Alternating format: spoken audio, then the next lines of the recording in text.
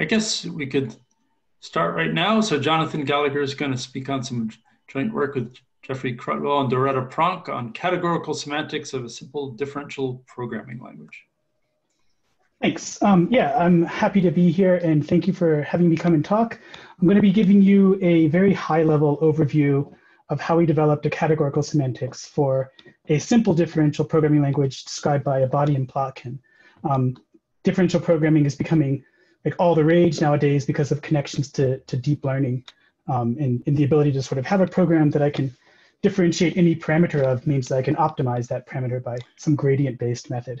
Do you want to so, let us see your face? Oh, I'll, I'll try. If if uh, it might. You know, it's up to you. It's up to you. I'll do it. Let's do it. Whatever. Um, yeah, sure. So, uh, so yeah, so um, and so yeah, we're just going to give this high-level overview of, of how we came up with a categorical um, semantics for, for, a, for, this programming language. Let's see. So we're going to be talking again about you know um, taking differential programming and putting it into a categorical framework, and you know with respect to a programming language. And I think a lot of people here are probably familiar with sort of type theories or algebraic theories uh, and the correspondence with categories and say categories of products or Cartesian closed categories. Um, so if we wanted to get at just that aspect, some kind of type theory with some notion of differentiation, um, or maybe, you know, because we're interested in efficiency, it turns out the reverse of the derivative is, is more efficient um, in a lot of applications. We might ask, what would a category with one of these kinds of operations look like? So to do that, we're going to have uh, what's called a, a reverse basic differential structure on a category. So previously we've talked about differential categories and, and what are called reverse differential categories, but it turns out we won't need all of those axioms. So we've dropped two of them to these, to these basic things. Um, uh, and also, if you're if you're coming from the type theory point of view, type theories don't always describe things like partiality, so a function that's not defined everywhere. Um, and so there's a bunch of ways to, to get around that um, for functional programming languages, various kinds of monadic approaches, uh, which which you know have been used to sort of lift types up and you know have the the types embody you know undefinedness in a certain sense. Um, in differential programming, that gets a bit tricky to, to sort of use these monadic approaches directly. So we're going to use a bit of an older fashioned and more uh, direct um, interpretation where we're going to use categories of partial maps uh, but instead of dealing directly with an app like a con- like a concrete category of partial maps, we're going to use what's called a restriction structure on a category. And these restriction structures are sort of like a categorical axiomatization of what it means to be a category of partial maps. And that's pretty cool. But another thing you might want to do in a program is, is use recursion. And uh, for that, um, we're going to use the fact that these restriction categories, you know, are always order enriched. And so we can do a sort of a bit of a standard move and ask for the, the enrichment to not just be in orders, but to be in uh, DCPPOs so that we can interpret recursion using fixed point phenomena via DCPPOs as normal. Um, so that's how we're going to get recursion. So we won't be we won't be using any kind of um, we won't be having our objects be any kind of DCPO or anything like that. They're just going to be um, ordinary objects. We're going to use a DCPO enrichment to directly interpret um, recursive functions into the into the HOM sets. Someone is asking what a DCPPO is. Great question. So a DCPPO is a directed complete pointed partial order. So it's it's a partial order where every directed set has a supremum and it has a minimal element like called bottom or, or empty. And then I think that's it, right? Directed, complete, pointed. Yeah. So so it's it's got it's got um, you know sups of, of directed sets plus this pointed or this bottom element. Um, I can't really see the chat, so if if you if you have a question, yeah, just uh, maybe unmute and say hey. Okay, um, and also I, I, mentioned just briefly now that that uh, we dropped some of the axioms that we originally had in these reverse differential categories. We dropped two of the axioms. So a question you might you know you might reasonably ask is what would happen if you know if I were to add um, or what would, what could I else could I do if I had these extra um, conditions in these reverse differential categories? And it turns out that in the programming language side, we can derive optimizations from the rest of these axioms, which is kind of cool that we get acts like these these axioms give optimizations. One we'll see today is an exponential um, speed up over the, the the operational semantics that was originally defined, which is which is really neat to see that coming out of the the axioms. So um, some of you some of you here might not actually be familiar with what differential programming is. I said it's sort of used in machine learning, so I thought I might give just a really quick um, introduction to, to what differential programming kind of is about. So a couple years ago, I was doing some industry like contracting uh, for an R&D like firm. And one of the things we did was we wrote a lot of ray tracing algorithms for, you know, find, figuring out how particles would move through layers where each layer determines the velocity the particle is traveling through that layer at. And it's really not super important, everything that was going on. But the, the main thing is that a lot of these a lot of these ray trace algorithms came down to doing a Newton iteration somewhere in it. And in Newton's iteration uh, requires you to, you know, sort of divide the value of a function by the value of the derivative of that function. Um, but in practice, you know, error propagation is a really big deal in these in these fields uh, because because you have to get these things down to really, really small tolerances on the sometimes millimeter scale. And so rather than you know, using a numerical differentiation library, we actually sat down and wrote out the derivative of these functions by hand. And we had hundreds of these and they were quite, some of them were quite long and monotonous to do and really easy to make mistakes on when you're converting them back to C++ code.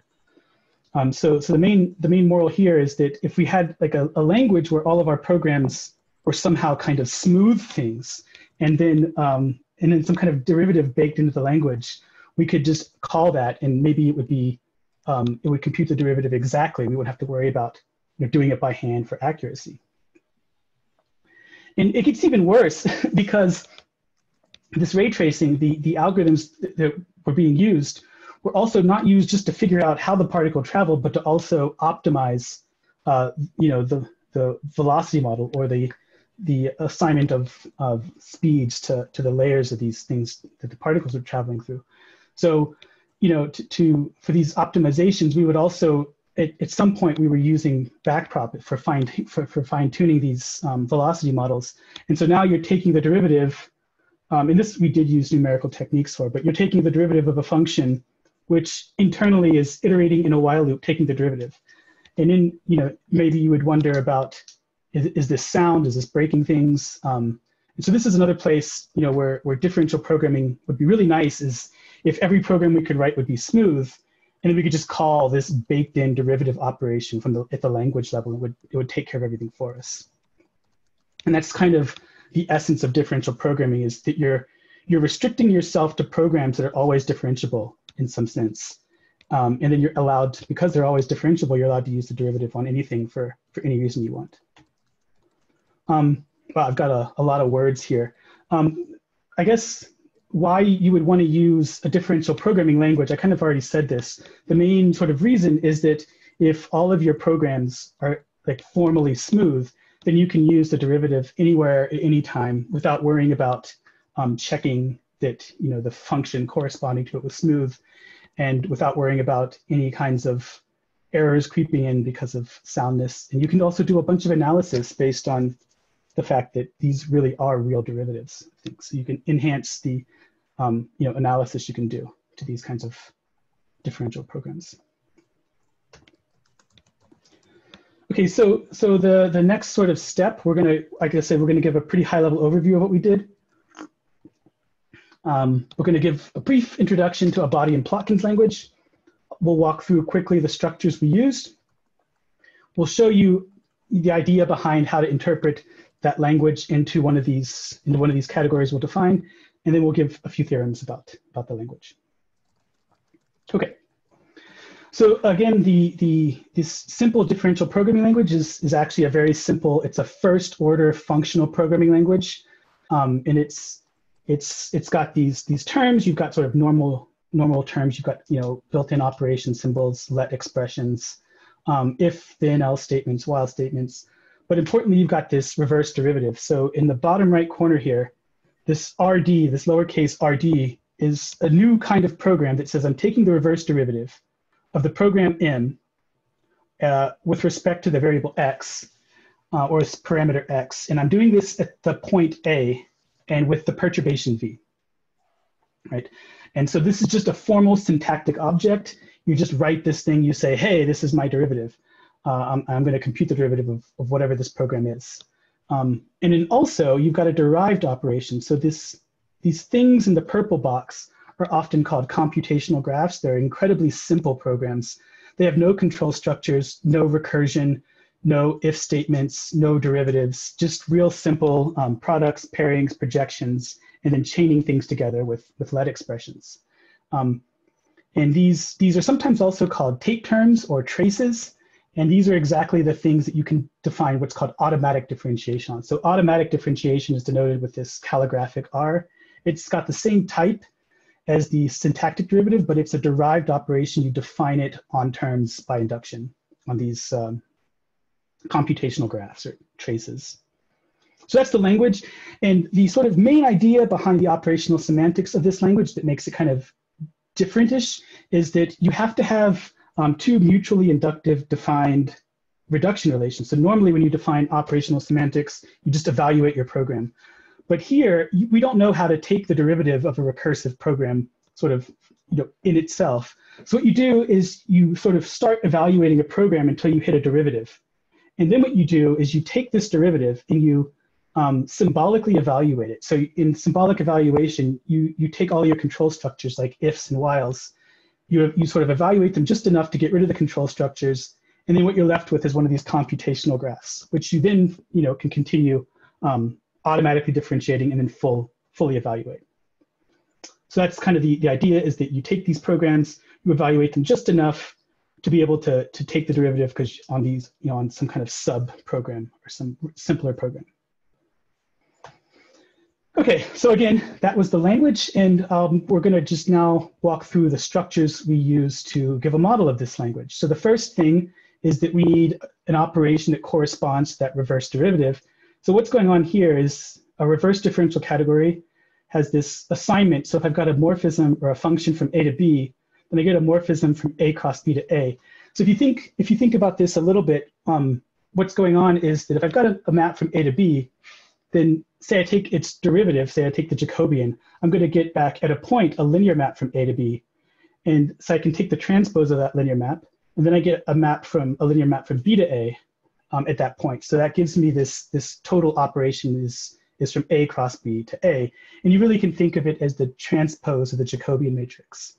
Um, if you take this, you know, the example of smooth functions on, on Euclidean spaces, uh, what it's really doing is it's giving you, say, if you've got a function from R into R, then, then this, this thing you get back on the right, you know, the, the thing um, R n cross R to Rn, that when you get it back, you're just getting the gradient vector.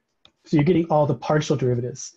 And this is sort of why it's used in practice is that you can compute the reverse derivative in a single pass of a program's graph. So rather than computing each partial derivative individually, if you've got, say, your input space is, you know, 10 billion, um, that would take 10 billion calls. With the reverse derivative, you can do it in a single call.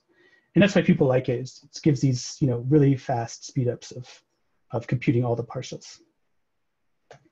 Okay, um, but I thought you, might, you, this community might like this, a, a different view on these reverse differential categories maybe better. So I know that there's been some talks on these, these lens categories or these categories of state-based lenses. And these state-based lenses can be thought of as a fibration. In fact, it's the dual of a simple fibration. And if and what you've got in this category, in if you look at this diagram in the bottom left, is a map from IA to JB is a map going in the forward direction from I to J, but then sort of in a backwards direction, it goes I cross B to A. So it's kind of like this, for, one thing's going forward, the other thing's going backwards. And uh, for reverse differentiation, if we restrict to um, the category of such maps that preserve, so these categories have addition on all their objects. And if we restrict to the, the subcategory of, of these simple, or these lens categories, um, where the maps preserve addition in this B argument, then that's called the trivial additive bundle uh, dual fibration. And all that, all that one of these basic reverse differential categories is, is a section of this fibration. So there are these dynamical system doctrines like we saw earlier. Um, but so that might be a, a, view that is maybe useful to some people here. Uh, the other thing we needed, as, as we said, was is restriction categories. To, so again, to give um, a high-level overview of what restriction categories are. Uh, formally, they're just a category that has this bar operation. So it sends a map F from A to B to a map F bar from A to A to A. And you're supposed to think of this like the example in the upper right corner uh, as in sets. The um, F bar at X is just X if F of X is defined and it's undefined otherwise. And these are related to the other sort of main ways people talk about partiality in categories. The first one in the orange box being, um, you know, Rosolini's Dominical categories, so these categories of, of sort of deterministic spans or, or partial functions. Um, and the other one being these uh, Koch-Kleisli category or these partial map classifier um, methods that are seen sometimes in a lot of times in programming. Um, in both, both of these correspond to these, these, both of these give restriction categories and restriction categories can always be completed to be one of these things. Um, however, when we go to mix, you know, with differentiation, there's some pretty significant subtleties, especially with the purple one. So uh, for today, for today, we're just going to focus on just having restriction categories, and uh, and then it's pretty straightforward to to mix restriction structure with with uh, with differentiation structures or reverse differential structures. And all you all you really do is ask for two more axioms um, that essentially say that uh, the the do, the domain of definition of the derivative is completely determined by where the function is, to, is defined. Um, and then again, the other thing we need to get to these DCPPO enrichments is, a, is uh, some order theoretic stuff. So um, restriction categories always have an order enrichment and the order that you, that you use is sort of corresponds roughly to less defined than. So F is less than G if it's less defined than G. And and, and that gives us the ability to talk about other order theoretic properties. These things can have a minimal element, which is written as empty, and they can have sups. And if they have both this minimal element and all sups, then it's called a join differential restriction category, and the enrichment actually lands in these um, directed, complete, pointed partial orders, because we have joins of arbitrary families of, of compatible maps. Okay, and with and and again, if you if you happen to have um, a category which has reverse differentiation plus restriction plus the compatibility axioms um, plus joins, then you can give an interpretation of that programming language, which we'll highlight briefly here. Um, I'll just say that the middle term is the important one. If I'm interpreting the reverse derivative term, I interpret it by interpreting the term and then taking its actual reverse derivative in the category. Um, and so that's kind of the idea is that this structure is just exactly what you need to interpret this programming language. Um, I won't say anything about that. And then the, the, main, the main sort of semantic theorems that we get from doing this is the first two sometimes called source-to-source -source transformation theorems. So um, sometimes when you taking the derivative of a control structure, it's useful just to push it inside of the control structure. So I'm taking the derivative over an if then else statement, I can just distribute it into both the components. Um, and there's a similar trick with the while with while loops, which I won't say because it's a bit more complicated, but um, we'll talk about sometime. Uh, but the main theorem, sort of the main two correctness theorems, is that if I start with a computational graph and I define and I use this, um, you know, inductively defined, what's it called, automatic differentiation, the denotation of that is the same as the denotation of the formal um, term, the formal derivative that you have as a programming language construct. And then we also have that, um, you know, symbolic, symbolic evaluation and pure evaluation in that fourth proposition uh, both get interpreted by the same term in the, in the, in the categories. So um, we've, so we've got sort of these, these soundness theorems for the operational semantics into this denotational semantics here, which is quite nice. And I realize I'm running kind of low on time, so I'll speed up for this one. Um, we promise an optimization. So if you, just really quickly, if I've got some function which is computed using a while loop, then if I want to take its derivative, I have to expand that while loop into one of these computational graphs. the result of expanding this one at 1.001 is, it, is in the bottom middle of this slide. And what's going on is that you've just sort of, you know, you've you kind of recorded all the steps you did in, in computing the while loop, and then you take the derivative of this big computational graph at the bottom. And if you think about this, just what's going on is that the variables um, in, a, in a let expression, I'm taking the derivative of a let expression, it's sort of a function of two arguments, so it gets split into a sum, and you get this exponential blow up of sums. Um, whereas you might want to, to notice that that's not necessary and that this, this blow up can be reduced um, by the observation that a lot of those things are going to be zeros. In fact, almost all of those terms that you're going to end up computing will end up evaluating to zero. So, and that just comes out of the axioms of these, these categories. Um, also, I, I, said earlier, um, if we have the full, the full axiomatization of the full RDC, uh, then, then we can actually memoize some of the, the higher derivative stuff because there's symmetries involved. And so we can save computation and reduce the amount of work we're doing. So that's kind of cool that the sixth and seventh axiom also play a role in a, in a, in a, in a lesser degree optimization. Um, okay, so I'm going to pretty much stop here. Uh, I just wanted to say that we've we've implemented this programming language in Haskell. I've got a little GitHub link you can you can follow, and if you want to collaborate and maybe contribute to this language uh, or take it further, um, send me an email. I'd love to to have help. Thanks a lot. Okay, thanks very much. So, are there any questions, folks? You can First person gets to just ask it for by unmuting themselves. You could also raise your hands if you know how to do that. Hi, hi, Jonathan. Um, hi. Here. Do, hi. do you think you could go back and put the the uh, the extra axioms that you satisfy? Um, that, that there are four axioms at some stage, and I, I just I was thinking of something else and I missed. Oh, I don't think I actually put any axioms in this in these slides. You but mean here? Yeah. You said such that four axioms hold. Yes. So um, I don't know. Can I draw on the screen? I've never actually tried this before. I don't know. Let's see. Let's see what happens. Um, the axioms are things like if I compose f bar. Can you see this? Yes. Yes. It's. Yeah. So it's things like if I compose f bar with f, I get f, and if I'm thinking of these things as sort of domains of definition, then I'm thinking of this as meets, of composition as meets. So, um, you know, they should form, um, they should commute. Um, and then I've also got something like F bar, G bar is, I'm writing in path composition order here. So, so diagrammatic order.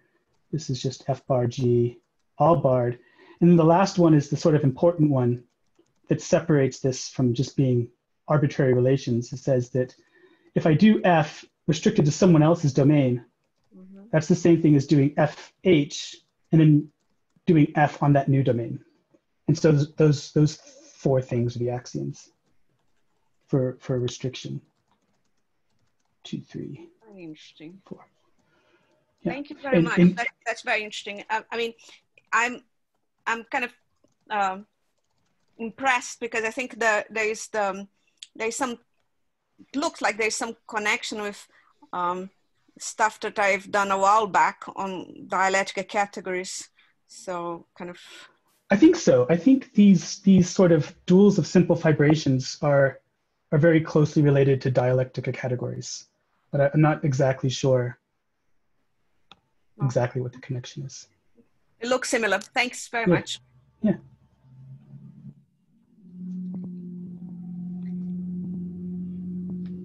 Any more questions? Uh, yeah, I don't know if my voice can be heard. Yep. Uh, hi, Jonathan. Thank you for your. Hi. Welcome. Uh, there's an old paper by Carboni called Bicategories of Partial Maps. I don't know if you're familiar with that, but I'm asking if you do know about that, then what is the relationship to restriction category? Hmm. Yeah, I think I think those bi-categories of partial maps is very similar to the span construction of Rosolini. Um, So to get a category of partial maps, you take equivalence classes of these of such spans. And my guess, I mean, I'm not exactly sure what they did in the the bi-categories of partial maps thing. My guess is that they they didn't take equivalence classes; they just worked with. I, I think we might be um, talking about something else. Um, okay. Okay. Yeah, I mean, Carboni is trying to axiomatize what you might mean by a bicategory of partial maps, and it's similar to the Cartesian bicategories, which work for bicategories of relations. But anyway. Um, is this related to stuff like P categories and these things? Um, not that I am aware of. Okay. Okay. Somewhat idle curiosity. Uh, but, but thanks all the same. Oh, I think Chad Nester put a, uh, a, an answer to your question in the chat. Oh. Okay. Great. Thanks, Chad.